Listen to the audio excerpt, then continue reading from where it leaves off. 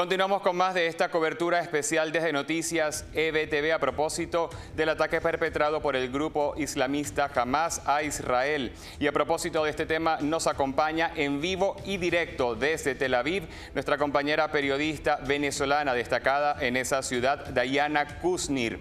Dayana, Bienvenida a Noticias EBTV. Noticias que han sacudido al mundo recientemente tienen que ver, por ejemplo, con el hecho de que se confirma eh, la masacre perpetrada contra 40 bebés, específicamente en la región de Kibbutz Kafar Asa. Esto queda al sur de Israel.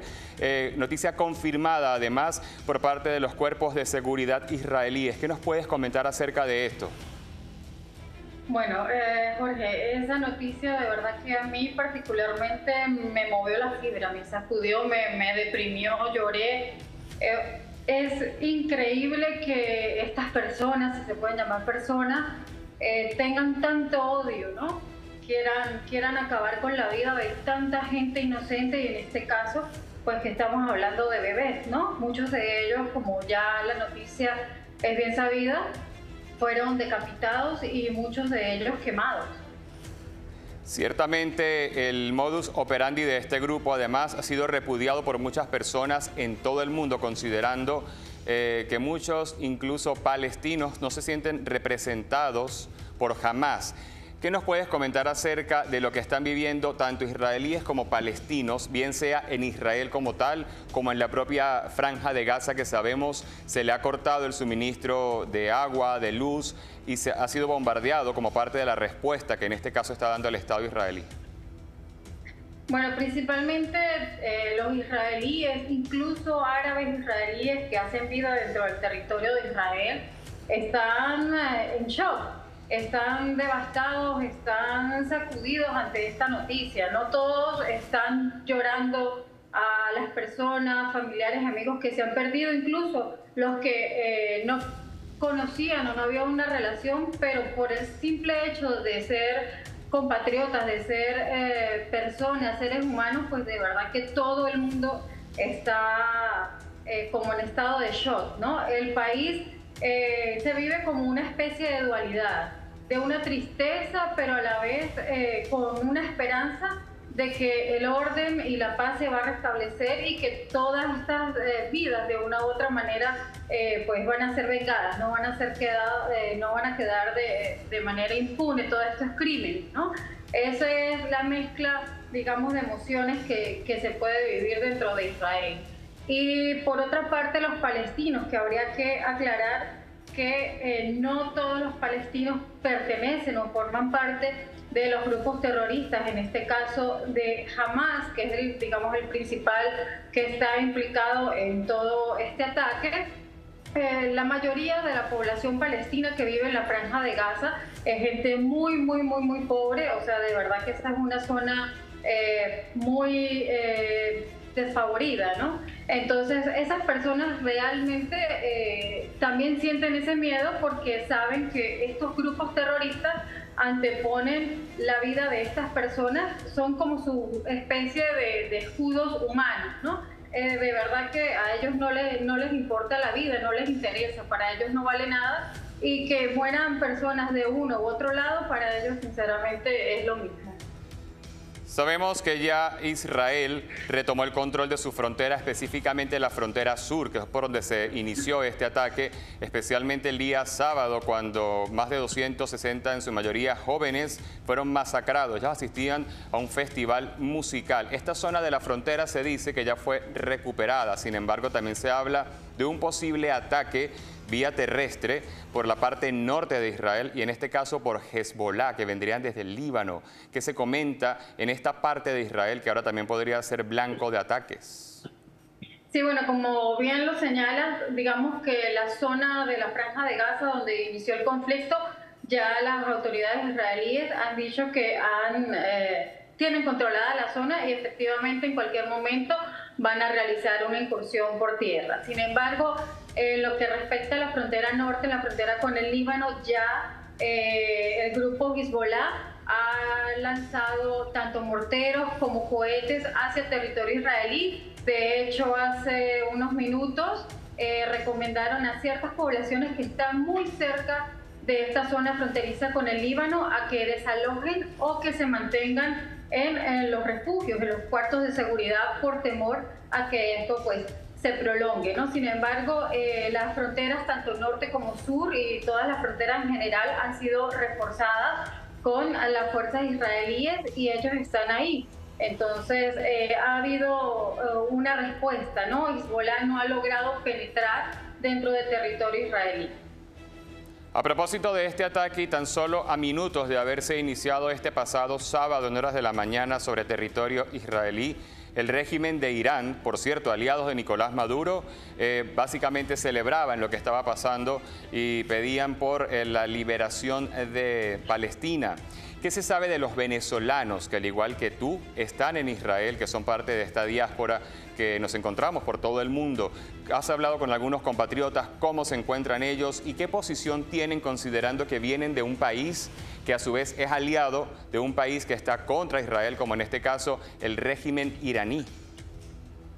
Bueno, eh, efectivamente eh, tengo contacto con la comunidad latina en general y específicamente los venezolanos, sobre todo eh, del estado Táchira.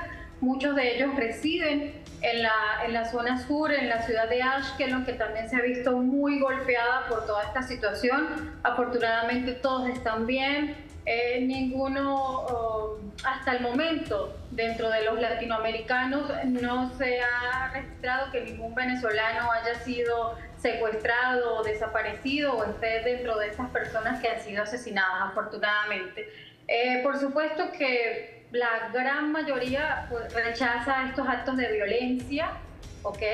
Y eh, esa alianza, por decirlo de alguna manera, que existe entre el gobierno venezolano, que de hecho ha dicho públicamente que está con el pueblo de Palestina, nosotros como venezolanos, y me incluyo, eh, pues nos sentimos indignados ¿no? con semejantes declaraciones sinceramente, pues eh, no, no, se puede esperar menos del régimen de Nicolás Maduro. Bien, agradecemos este contacto que establecimos con la periodista venezolana Dayana Kusnir, quien tuvo la gentileza de reportarnos desde la zona cero lo que está ocurriendo allí en Israel, dándonos un balance bien completo acerca de lo que está pasando tanto en Israel, en Tel Aviv, en sus fronteras norte-sur, también como en la propia franja de Gaza y Cisjordania. Y continuando en materia, Israel reporta unos 1.500 milicianos de Hamas muertos en su territorio en el cuarto día de guerra, esto tras la ofensiva sorpresa del movimiento terrorista palestino Hamas, que además secuestró a unas 150 personas precisamente en suelo israelí. Veamos. Israel aseguró el martes que unos 1.500 milicianos de Hamas murieron en su territorio. Cientos de hombres armados del movimiento islamista palestino franquearon el sábado la frontera y se infiltraron en localidades del sur, donde mataron a personas en sus casas y secuestraron a otras que se llevaron a la franja de Gaza. Desde entonces el ejército israelí bombardea masivamente el enclave palestino gobernado por Hamas y que hace 16 años está bajo un bloqueo del Estado hebreo, con el que controla los bienes y las personas que cruzan la frontera.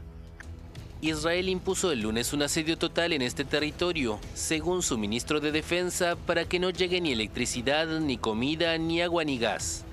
La ONU advirtió que este tipo de medidas van contra el derecho internacional humanitario. La imposición de asedios que ponen en peligro la vida de civiles al privarlos de bienes esenciales para su supervivencia está prohibida por el derecho internacional humanitario. Toda restricción de la circulación de personas y bienes para aplicar un asedio debe estar justificada por una necesidad militar o puede equivaler a un castigo colectivo. La Oficina de Coordinación de Asuntos Humanitarios de Naciones Unidas indicó que más de 187 mil personas del enclave palestino se han visto obligadas a desplazarse. Por su parte, la Organización Mundial de la Salud pidió el martes la apertura de un corredor humanitario para enviar material médico esencial a la población.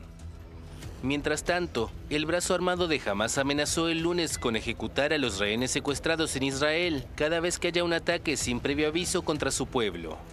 En Irán, el guía supremo, el Ayatollah Ali Khamenei, negó una vez más que su país estuviera involucrado en la operación del grupo islamista, al tiempo que reafirmó su apoyo a la causa palestina. Besamos la frente y los brazos de los valientes jóvenes palestinos y los diseñadores de las operaciones. Estamos orgullosos de ellos. میبوسیم ما به اونها افتخار میکنیم این هست La tensión también escaló en la frontera norte de Israel con Líbano, donde el ejército israelí informó que abatió a varios sospechosos armados que habían penetrado su territorio. La infiltración fue reivindicada por la Yihad Islámica, otro movimiento islamista palestino. Bueno, y pescando en Río Revuelto, Vladimir Putin dijo este martes que el conflicto entre Israel y el grupo palestino Hamas ilustra lo que él considera es el fracaso de la política de Estados Unidos en Oriente Medio y afirmó que la creación de un Estado palestino es una necesidad. Desgraciadamente, estamos asistiendo a un repentino empeoramiento de la situación en Oriente Medio. Creo que mucha gente estará de acuerdo conmigo en que esto se trata de un ejemplo claro del fracaso de la política de Estados Unidos en Oriente Medio. Y con esto establecemos una pausa. A la vuelta les tenemos más información. Ya venimos.